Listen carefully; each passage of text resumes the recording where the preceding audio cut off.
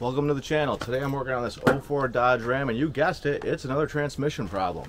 It wouldn't pull out of first gear and then it stuck itself in third gear. Transmission has just been acting really funny and then it started throwing some codes. P0108, map circuit high input, P0643, another high voltage error, P0480 cooling fan circuit open, P0483 fan speed, a P0868 trans fluid pressure low. A little bit of research on the uh, 643 and 868 codes shows that you could have high voltage on the circuit. And I guess it's common for the fan to cause that. So we've also got the fan codes that are pointing us to that. So I'm gonna go up and check out the fan clutch and the wiring going to it. Looking underneath the truck, I saw that these wires right here were severed.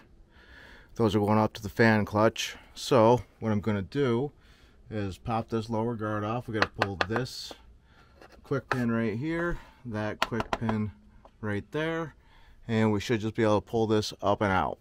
Drop it out. So I went shopping real quick here uh, over at the parts truck. So over here is the fan and the harness that came out of my truck. See, I ripped it right off there. Here's the fan, clutch, and harness off the parts truck. Going back in this girl now.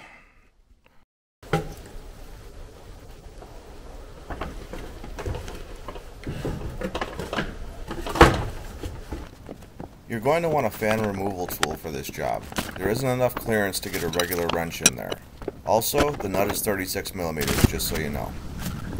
I will add links to some tool options in the description, and I'll also add some links for uh, fan clutches by year of truck.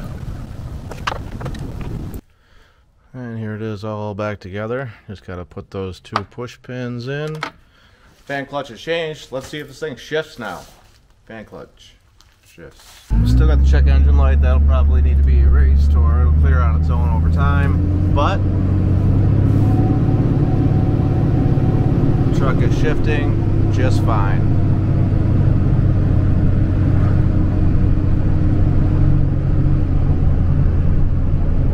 It's crazy that a fan clutch can uh, take your transmission out like that. Make sure to like, subscribe, and catch me on the next one.